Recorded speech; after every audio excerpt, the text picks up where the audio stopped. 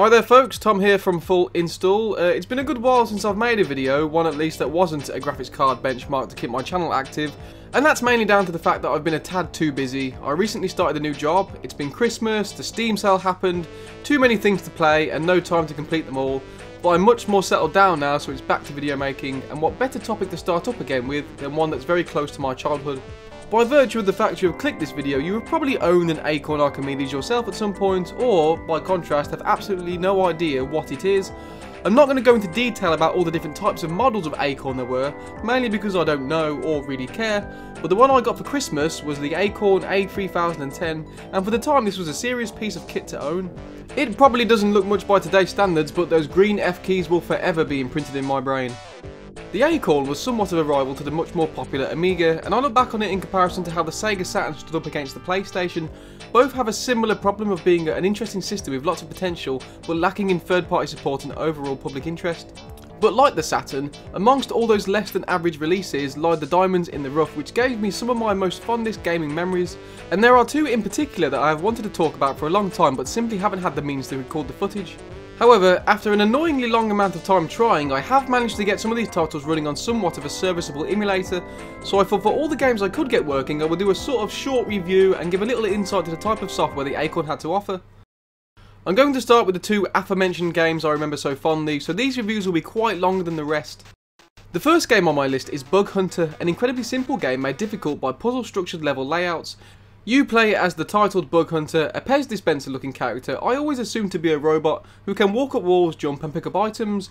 Each level in the game takes place around an everyday house and your aim is to dispose of whatever critters are roaming around before making your way to the exit. Each level will have a certain item or items that you can pick up to aid you in squashing your enemies. These can only be picked up one at a time and your character can't jump whilst carrying them.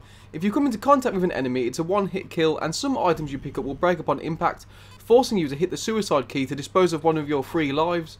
It isn't too groundbreaking by any means, but for the time it really captured my imagination. This was a time when seeing a room of a house represented in such a way that seemed to scale, with personal details, was a big deal. And having grown up from a toddler watching movies like The Terminator and Conan the Barbarian, when I saw this poster in the background my mind nearly exploded. It is these little touches that have always made British gaming experiences a joy, small little jokes no matter how insignificant they are just to put a smile on your face. As the levels go on, the enemies increase along with the difficulty in the way that they must be disposed of. Most items are dropped, but soon enough you'll come into contact with helium balloons which float upwards, giving new means of attack to insects that descend from above, and your success is dictated by your level of timing. It's a classic trial by error game, and one that I think will be perfectly suited to the current handheld market.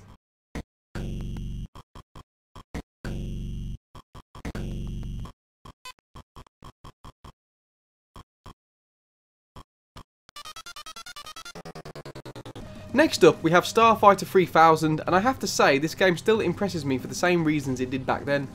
Let's pretend for a second that it isn't 2015 and that most every game released isn't a soulless mixture of every genre shut out into existence.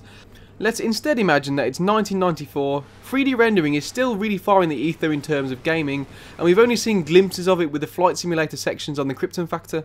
Then, out of nowhere, we have a game that is not only in full 3D, albeit coloured polygons, but one that has a draw distance of terrain as far as it does. Compare this to those horrible early 3D titles where you have about 3 foot of 3D space before you hit Fog of War. I'm looking at you, Armorines. I completely understand that there isn't exactly a lot on screen to overwhelm me by today's standards, but to see a game that appeared to have an unlimited world to explore with actual structures, landmarks, destructible buildings and persistent decals, this is a release that is seriously ahead of its time.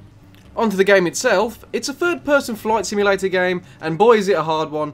Each mission starts and you're presented with an overview map of locations and a store where you can buy upgrades for your ship and you will be needing to do this first and foremost as without shields and laser boosts you're going to have a pretty short gaming experience. Now the first big problem with Starfighter is the controls. It seemed the standard for the Acorn to not use the arrow keys or WASD keys for directing your character Instead, the default mapping had you using the Z and X key for left and right, and the forward slash and apostrophe for up and down. For most games, this isn't too much of a problem, as there is usually only one primary button mapped to the spacebar. However, this time around the programmers felt the need to map the fire button to the enter key, which just have a look at your keyboard for a second, it makes for quite a bit of getting used to. Along with firing, you can use your thrusters to go faster by use of the spacebar, and you can select up to four weapons using the F keys. Flying around and shooting things in this game never ceases to be fun to me, and the way the structures explode in a barrage of polygons, just fantastic. And in the later levels, you encounter different environments, such as cities, which occasionally have to fly through tight gaps, which can prove really difficult with the controls, and space, which complete with asteroid belts makes for a really immersive experience. There were actually further releases of Starfighter 3000, one on the PC which I've never been able to find, a copy of the 3DO which I've never owned, and a PlayStation and Sega Saturn version, although I have the Sega Saturn version which disappointingly isn't up to scratch. The frame rate is nowhere near as high, they've added music which really sucks, and the graphics are all muddy and now there is a limited fog of war. If you do ever get the chance to play the Acorn version, hats off to you firstly for being able to find either the system or the game, and secondly make sure you do, because it's a really fun relic of gaming history. Unfortunately, I couldn't get a few of the other titles I remember so fondly to run on the Acorn emulator, but these games included Flashback, Chuck Rock, Cannon Fodder and Heimdall, which have all seen popularity in other versions, so let's move on to the more Realms of the Unknown.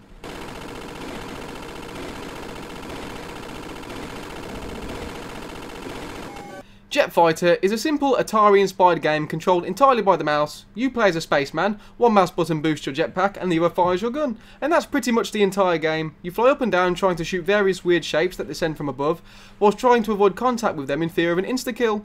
It's really easy to understand and pick up and play. Nothing new by any stretch of the imagination, but fun nevertheless.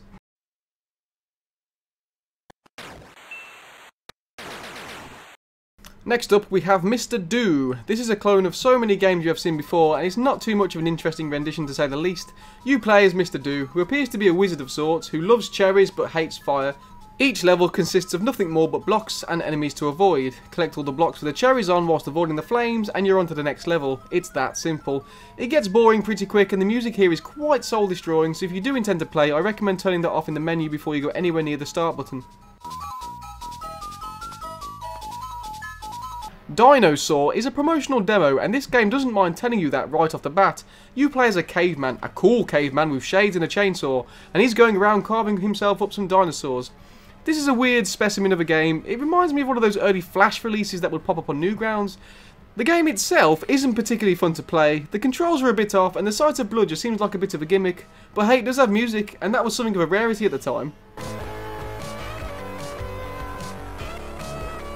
A Maze. This game I couldn't fully figure out, but damn I liked it. From what I gather, you play against the AI and both of you have to nominate a row on the grid to slide from side to side in order to place the next queued up piece. Moving pieces connects the path and I think your circle moves along the path automatically. The logic here being that you would try to set up your opponent with a bogus path. I need to go back and figure out exactly how this one is played, but I like it nevertheless. Moonquake! It's Bomberman. Less pretty, more zoomed out, less interesting Bomberman. Not much more else to say about it other than that I like the explosion sound effect.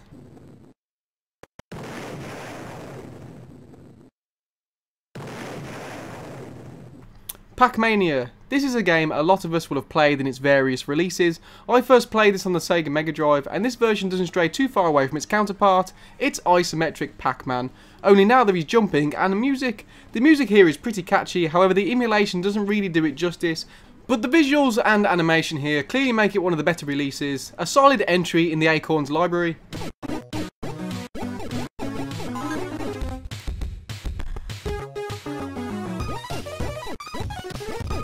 Next we have Repton 3. There were Repton games before it. In fact, this is a remake of a previous system and it really could have done with a bit of polish.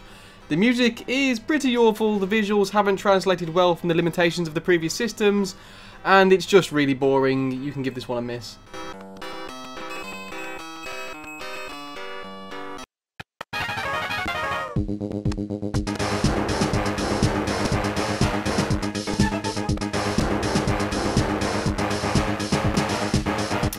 Ah, Speedball. Anyone who owned an Amiga back in the day will have fond memories of this one. Still one of the best two-player sports games you can get to date. Speedball has you hurling around a ball of steel and slide tackling your enemies in a futuristic setting that really hasn't got boring in two decades. A must for any retro gamer, just avoid the horrible HD remake.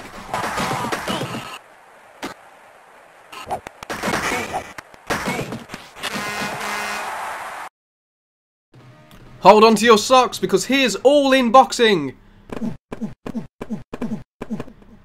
That's enough of that. Next up, we have 3D Tank. This one is very primitive 3D, as everything here is a wireframe. Your aim of each level is to find the enemy tanks displayed on the map by the red dot, destroy them, and progress to the next level. Each new level is host to greater amounts of tanks, and in turn heightened difficulty. It can be a little confusing at first, as it can prove quite hard to differentiate obstacles from one another, but after a while you seem to ease into it, and actually it can be quite fun. The only drawback is that it uses the same default mapping keys as Starfighter, which can be a little tricky, but still, worth your time if you get the chance.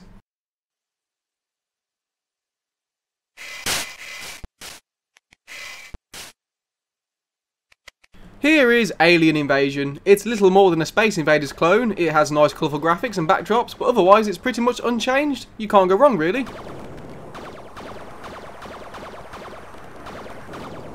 Bobby Blockhead versus the Dark Planet.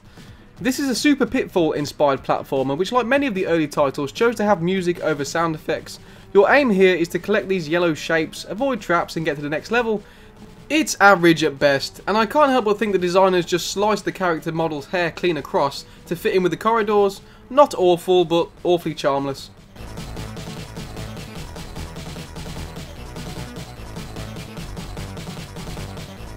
White Mage is a Gauntlet clone, and one that is not great unfortunately.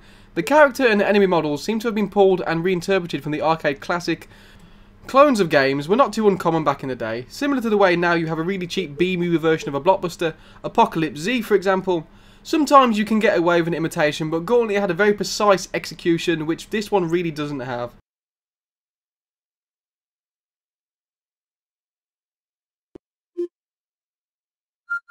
Next we have Gorn, which to my surprise was a text adventure. I'm a huge fan of text adventures and being able to play this in the old RISC OS operating system with that glorious font gave me a big burst of nostalgia which I have to say kept me playing a lot longer than I had expected to.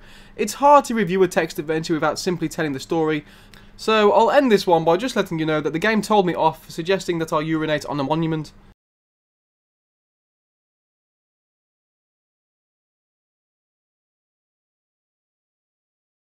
Here we have Oddball, and this is a game I'd completely forgotten about, and one I'm glad I stumbled across.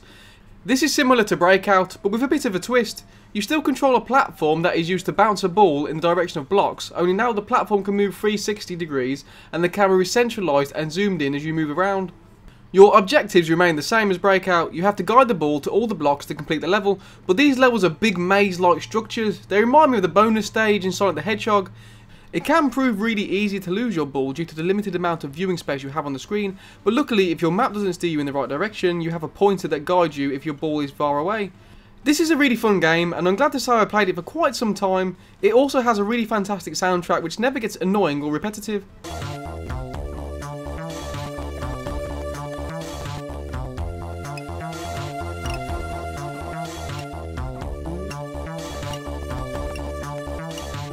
Bloxed, I mean uh. Here we have a Tetris clone, and a perfectly serviceable one. It's missing music, but in its place we have some very low rendered backgrounds, and what the hell is that? Time Zone. This is a flight sim that really took me a while to figure out, as the key configuration is a bit all over the place. After some button pressing, I found out that the number keys are dedicated to your speed levels, and I was able to take off and fly around. I never actually found a purpose to my aerial adventure, but there was something eerily soothing that kept me playing.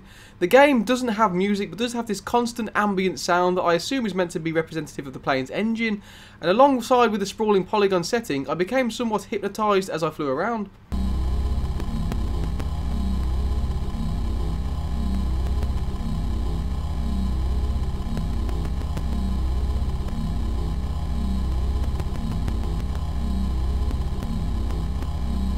Okay, we've all played Trivial Pursuit, and we don't need to play this version.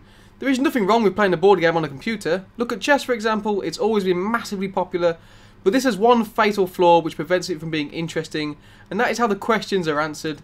You would expect for a computer which has a keyboard bolted to the front of it, you would be able to type in your answer. Even Family Fortunes on the NES had that. Instead, no, it simply gives you a question, you're expected to say it out loud in the room, and then the game asks you if you got it correct or not. Rubbish. Next up we have Enigma. This is a mix and match the icons game, a somewhat half-breed of Tetris and Mahjong, where you must slide pattern shapes left or right to meet their pair in order for them to disappear off the screen. Your shape's movement is dictated by gravity, so if they meet a ledge they will fall, and your choices must have logic behind them if you don't wish to become unstuck. I had a lot of fun with this game. As it progresses, levels get more complicated making you consider your moves many steps in advance, as you may have multiple symbols all of which need to be met at the same time. There are also moving obstacles in your way which act as elevating platforms, however I had the emulation set way too fast so these became somewhat bothersome, but not too problematic to stop me from playing, a real gem for the Acorns library.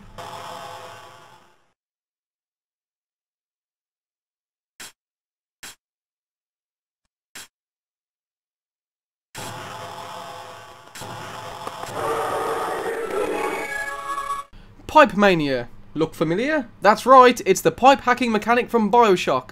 The main difference here being that rather than attempting to get your water to a predetermined piece, we are instead trying to outrun the clock, extending the pipe so that the water never runs back into itself.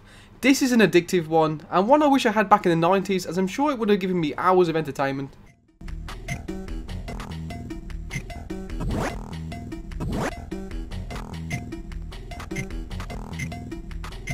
E-Type. I'll be honest, I was hoping for a rip-off of R-Type here, but instead what we got is an imitation of another Master System classic, Outrun. This is a racing game, and not a terrible one at that. However, I can only think this game was made with a joystick in mind, as using the mouse to steer the car is a bit of a nightmare. Although I do put that down to poor mouse emulation from the software I am using, so I will disregard that as a flaw. The main issue I have with this game is that everything outside the road is a collision. Whether it be water or trees, there is no room for error, but then again, games were harder back then, and no one likes an easy game.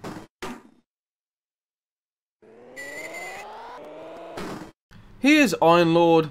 This is easily one of the more impressive games I have played on the Acorn, but I'll be damned if I could figure out what to do. You play as a knight who with the aid of his horse can traverse a small land of key locations when you do get to a town or village, your navigation switches to a tiny window in the corner of the screen which I found to be rather odd and pretty difficult to use. I never got much further than these sections, but looking at screenshots of how the combat works, I'm nearly 90% sure I had this game, so it is a game I will be looking to go back and revisit, but more than likely on DOS.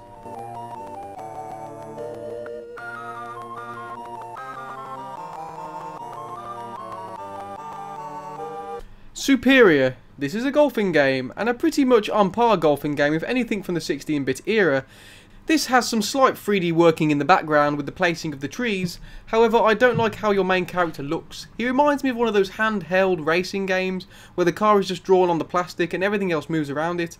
But as a golfing game it works, and I liked how colourful it was.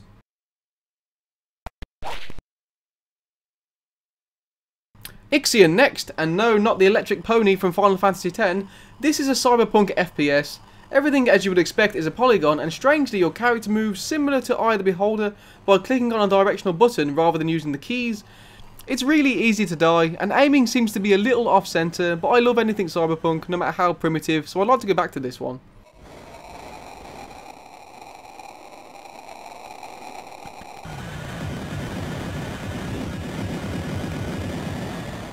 What's this? Top Banana. Well, this looks like a nice game.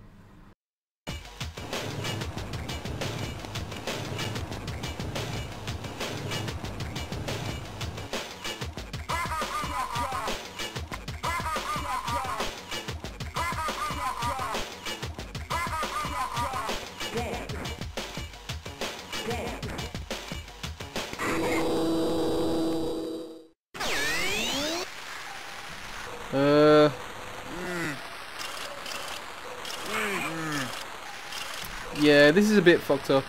Swiftly moving on, we have Fireball 2. I had this back in the day and it was awesome. Again, another Breakout clone, but with brilliant music. Unfortunately, the emulation doesn't render the graphics properly, so I'll cut this one a bit short.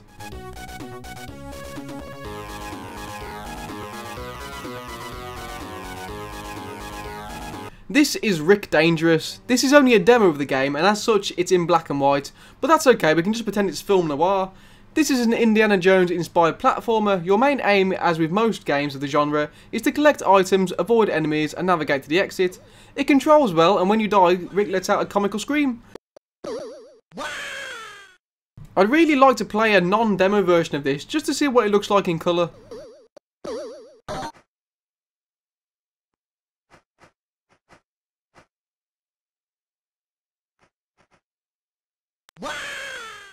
Populous. Some games need no introduction. An all-time classic by Bullfrog released on nearly anything you could plug a screen into, and I am still as bewildered today as I was 20 years ago of how to play the game. It's a masterpiece.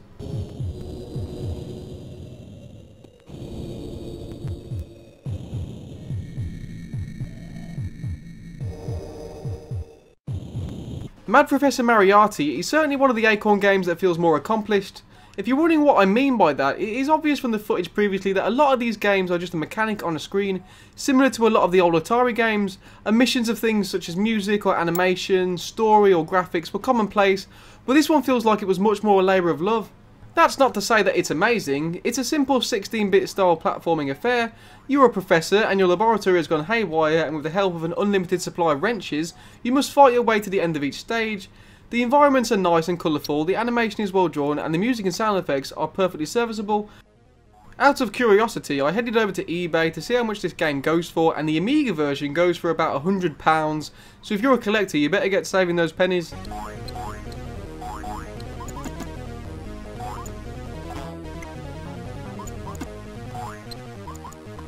And lastly, we have Super 8 Pool. This game left an unbelievable impression on me back in the 90s. A full 3D pool table with changeable camera angles and somewhat real physics. It was a wonder to behold at its time. You control the cue using the mouse, firstly to get into position by controlling the back end of the camera which feels a bit strange. Then once you're all lined up, you pull back the mouse and strike forward for appropriate impact. There is something incredibly relaxing about this game. It's probably just nostalgia, but for me, the lack of environment and music, just simple, non-intrusive sound effects, it's just you and the table, bliss.